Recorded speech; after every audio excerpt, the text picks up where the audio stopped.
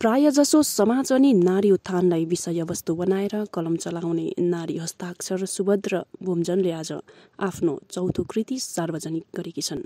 आज आफ्नै बासगृहमा एउटा औपचारिक कार्यक्रम गर्दै कवि सुभद्र भुम्जनले कविता सङ्ग्रह स्फुट स्वरहरू नेपाली साहित्यलाई सुम्पेकी छन्।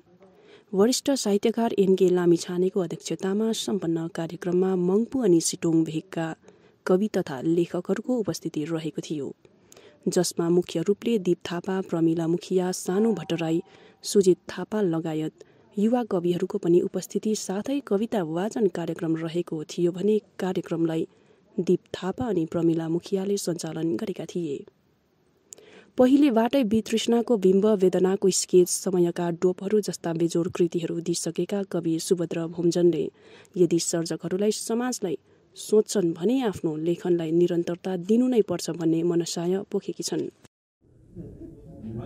र प्रथम त म्याम सुभद्र बमजनज्यूलाई है तपाईँले जुन आज कृति सार्वजनिक गर्नुभयो है यसको निम्ति बधाई टक्राउँदै आज आज तपाईँले जुन एउटा कृति दिनुभएको छ है नेपाली साहित्यलाई यो भित्र के छ? अलिकति बताइदिनुहोस् के हो यो खासै?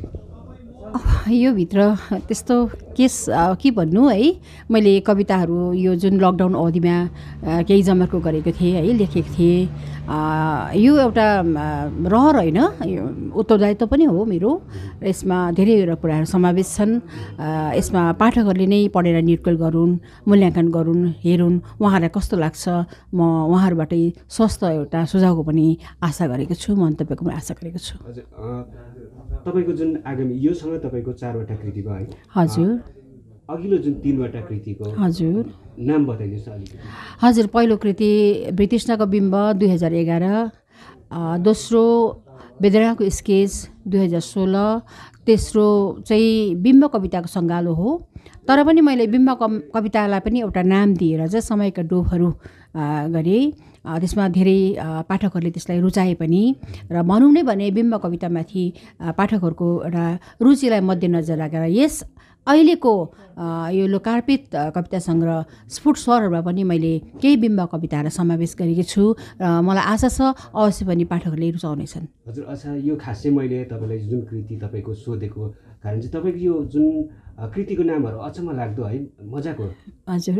हुन्छ यो कसरी राख्नुहुन्छ तपाईँले यसरी सबै तपाईँको चारैवटा कृति एकदमै लोकलाग्दो किसिमको छ है?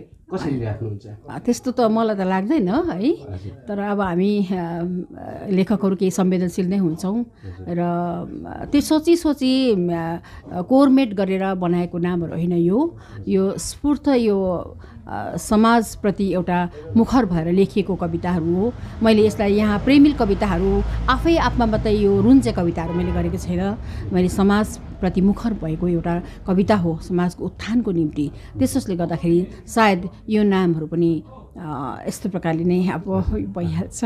हजुर लेखक स्रष्टाहरू है एक दुईवटा कृतिहरू दिएपछि एक खालके जुन अल्छी माने जस्तो है त्यतिको हराउने किसिमकोहरू प्रायः हामीले देखिरहेको छौँ नि र तपाईँले अहिलेसम्म पनि तपाईँले दुई चार वर्षको हेरफेरमा तपाईँले कृति दिनै रहनु भएको छ साहित्यलाई तपाईँले कसरी हेर्नुहुन्छ? र यसरी दिन तपाईँ सक्षम बनिरहनु भयो? बडो यो त जटिल कुरा हो किनकि दुई चारवटा लेखेपछि हराइहाल्नुको पछि चाहिँ कतिवटा सामाजिक पारिवारिक आफ्नो व्यक्तिगत यसमा कुराहरू आउनै पर् सक्छन्। तर पनि मलाई लाग्छ सर्जकहरूले यदि पक्का पक्की समाजको निम्ति सोच्छन् भने एउटा सोच राख्छन् भनेदेखि सोच एउटा विचार राख्छन् भनेदेखि चाहिँ उहाँहरूले आफ्नो लेखनलाई निरन्तरता दिनुपर्छ। कृति निकाल्नु ननिकाल्नु कवि किताब छापिनु नछापिनु त एउटा कुरा हो तर अनवरत लेखिरहनु भनेको बडो विषय यो जटिल र गहन विषय पनि हो र यो निरन्तरता हुनुपर्छ भन्ने मलाई लाग्छ। आगामी दिनहरूमा के सोच्नु भएको छ? मेरो एउटा आख्यान तयारी हुँदैछ लेख सङ्ग्रह र एउटा कथा सङ्ग्रह पनि हुँदैछ अहिले घरि चाहिँ। धन्यवाद भाइ तपाईँलाई पनि।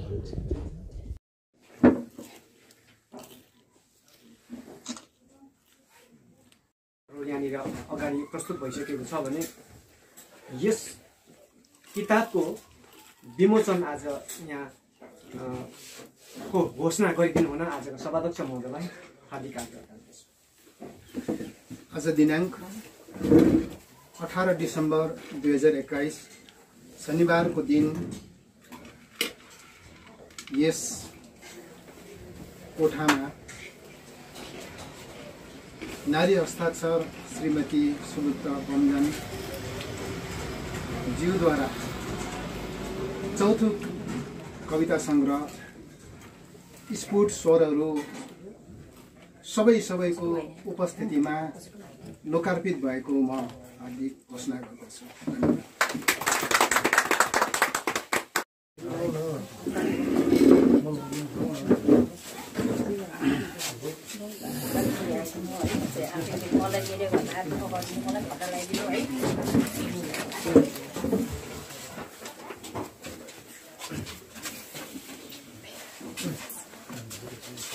धन्यवाद।